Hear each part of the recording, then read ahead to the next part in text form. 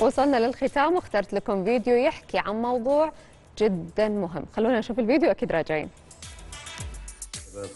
نصيحة لوجه الله الحرمة لا تعطيها وجه نهائيا نهائيا. بالذات لما تقول لك ادخل مطبخ ما ادخل مطبخ اطبخ ما أدري إيش أنت زي زيك الكلام هذا. إلا عن شكل شكلها. مرة لا تترحمها. أنا بس اليوم مشيت الموضوع عشان ما أبغى مشاكل. المرة الجاية إن شاء الله أوريكم شو أسوي. والله لا أروح بيت أهلي. العنف ضد الزوجة شائع وأشبع طبعا حقه و يعني وتكلمنا فيه كثير.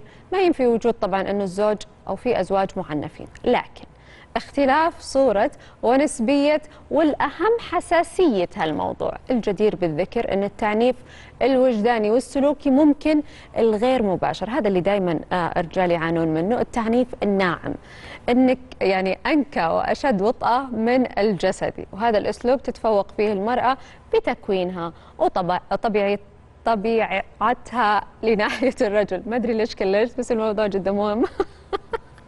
خلينا أكيد أعطيكم بعض الأمثلة لما تتهكم الزوجة على أم زوجها مثلا ولما تقول أسرار زوجها الخاصة جدا وشؤون بيتها وبكل التفاصيل أكيد البيت أهلها.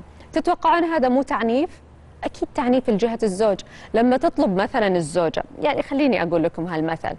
الزوجة لما تطلب من زوجها طلبات مادية تعجيزية وهي تعرف أنه الزوج يمر بضيقة. بس ما يعني ما تحاسب على طلباتها. ترفع صوتها أمام الأبناء أو أهل الزوج. مو هذا أشد أشكال التعنيف؟ يبغالك تفكرين شوي قبل ما تعنفين زوجك. ولما تستحوذ الزوجة على كل راتب زوجها.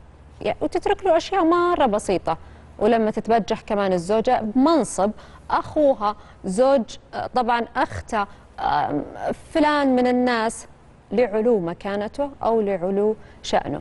وبي يعني وبأنه أفضل من زوجها وكيف الحال إن كان ذلك أمام الأبناء وهذا الأشد يعني الشديد بالموضوع والقوي بالموضوع لما أنت تتهكمين على زوجك قدام أولادك. وكمان تصرف الزوجة أو تصرف الزوجة بدون علم زوجها. وكمان ما نقدر ننسى أكيد شكوكها المفرط بكثرة اتصالاتها. انت وين؟ انت وين؟ انت وين؟